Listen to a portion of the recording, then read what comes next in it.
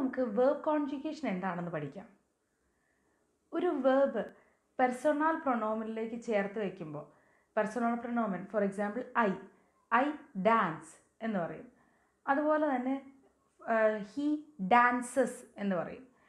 ഇങ്ങനെ പറയുന്നതിനാണ് കോൺജുഗേഷൻ എന്ന് പറയുന്നത്. ഒരു പേഴ്സണിലേക്ക് നമ്മളുടെ വേർബിനെ ചേർത്ത് വയ്ക്കുന്നതിന് അപ്പോൾ നമുക്ക് ഇനി അത് ജർമ്മനിൽ എങ്ങനെ ചെയ്യുമെന്ന് പഠിക്കാം.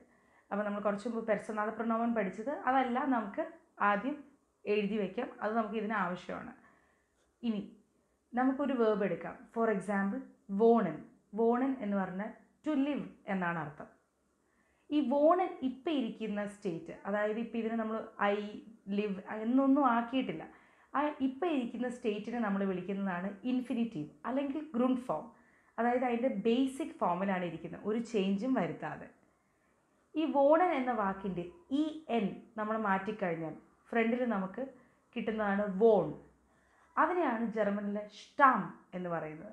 അതായത് സ്റ്റെം. അതിന് ആ സ്റ്റമ്മിന് ഒരു ചേഞ്ച് വരാത്ത സിറ്റുവേഷനാണ് നമ്മൾ റെഗുലർ വേർബ്സ് എന്ന് വിളിക്കുന്നത്. ആ സ്റ്റമ്മിന് ഒരു ചേഞ്ച് വരുമ്പോൾ ഇറെഗുലർ വേർബ്സ് എന്ന് വിളിക്കും. അത് കുറച്ചും കൂടി ഡീറ്റെയിൽഡ് ആയിട്ട് ഞാൻ ഇറെഗുലർ വേർബ്സ് എന്നുള്ള ടോപ്പിക്കിൽ പഠിപ്പിച്ചു തരാം ഇപ്പം നമുക്ക് ഇതിൽ ഫോക്കസ് ചെയ്ത് പോകാം സ്റ്റാം അപ്പം വോണിന്റെ സ്റ്റാം ബോൺ ഇനി നമ്മൾ എന്ന് എന്നെഴുതി. അതിന്റെ അടുത്ത് ബോൺ എന്നുള്ളത് എടുത്ത് എഴുതി. അപ്പോൾ നമ്മുടെ എല്ലാ പെർസണൽ പ്രൊണോമിനും എഴുതിയിട്ട് അതിന്റെ അടുത്ത് ബോൺ എന്നുള്ളത് ആദ്യം എടുത്ത് എഴുതുക. ഇത് കഴിഞ്ഞിട്ട് ഇനി ഇതിന് ഓരോന്നിനും ഓരോ എൻഡിങ്സ് ഉണ്ട്.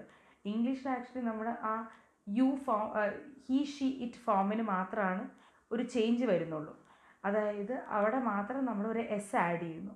പക്ഷേ ജർമ്മനിൽ നമുക്ക് എല്ലാ ഇതിനും ഒരു ചേഞ്ച് വരുന്നുണ്ട്. എൻഡിങ്ങിന് എപ്പോഴും ഒരു ചേഞ്ച് വരും.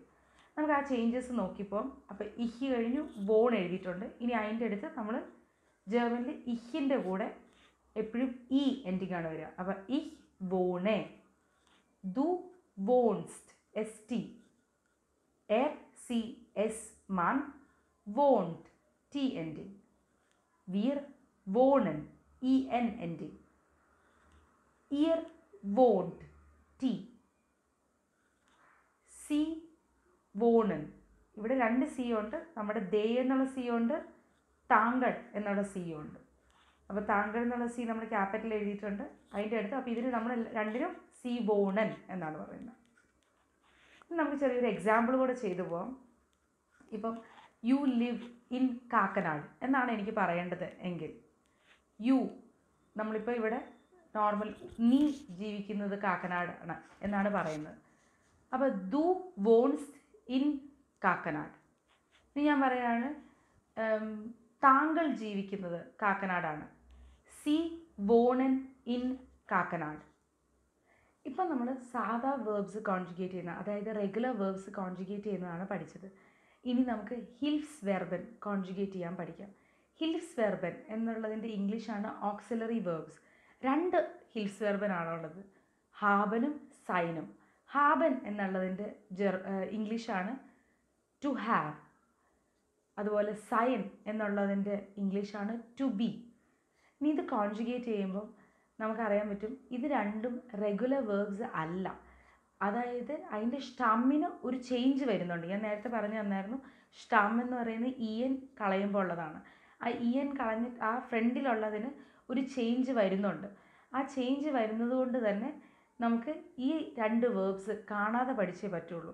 ഇത് നമുക്ക് ഏറ്റവും ഇമ്പോർട്ടന്റ് ആയ നമ്മുടെ ഏറ്റവും കൂടുതൽ ഹെൽപ്പ് ചെയ്യുന്ന രണ്ട് വേർബ്സാണ് അതുകൊണ്ടാണ് ഇതിനെ ഹിൽസ് വെർബൻ എന്ന് വിളിക്കുന്നത്. ഇത് ഞാൻ ജസ്റ്റ് പറഞ്ഞു പോവാം. നിങ്ങൾ നോട്ട് ചെയ്യുക. എന്നിട്ടത് പഠിക്കുക. ഇഹ് ഹാബെ. ദു ഹാസ്റ്റ്. എർ സി എസ് മൻ ഹാപ്റ്റ് വിയർ ഹാബൻ. ഇയർ ഹാപ്റ്റ് സി ഹാബൻ. ഇനി സൈന്റെ കോൺജുഗേഷൻ സൈന്റെ കോൺജുഗേഷനിൽ ഇഹ് ബിൻ. ദു ബിസ്റ്റ്. എർ സി എസ് മാൻ ist wir sind. Ihr seid. Sie sind. ഇതിൽ നോക്കിക്കഴിയുമ്പോൾ ഈ രണ്ട് വേർബ്സ് എഴുതി കഴിയുമ്പോൾ നിങ്ങൾക്ക് കാണാൻ പറ്റും. ഹാവൻ ഓൾമോസ്റ്റ് ഒരു റെഗുലർ വേർബ് പോലെയാണ്. ജസ്റ്റ് എറും എർ സി എസ് മാൻ എന്നുള്ളതിലും ദു എന്നുള്ള ഫോമിലുമാണ് അവിടെ ഒരു ചേഞ്ച് വരുന്നത്. അതിന്റെ അകത്ത് സ്റ്റമ്മ ഹാബില്ല ഹ എന്ന് മാത്രമേ ഉള്ളൂ. എച്ച് എ മാത്രമേ ഉള്ളൂ. ബി അതിന്റെ അകത്ത് നിന്ന് എടുത്ത് കളയും. സൈൻ എന്നുള്ള വേർബ് ടോട്ടലി ഡിഫറെന്റ് ആണ്. അത് നമുക്ക് അങ്ങനെ തന്നെ പഠിച്ചേ പറ്റുള്ളൂ. ഇനി നമുക്കൊരു ഒരു ചെറിയ എക്സാമ്പിൾ ചെയ്തു പോവാം. ഐ ആം സിക്ക് സിക്ക് എന്നുള്ള വാക്കാണ് ജർമ്മനിൽ ക്രാങ്ക് അപ്പം ഞാൻ ഐ ആം സിക്ക് എന്ന് പറയുമ്പം ഇഹ് ബിൻ ക്രാങ്ക് എന്ന് പറയും. ഇനി ഞാൻ പറയാണ് യു ആർ ഇന്റലിജന്റ് ദു ബിസ്റ്റ് ഇന്റലിജന്റ് ഇനി I have a book ich habe ein Buch.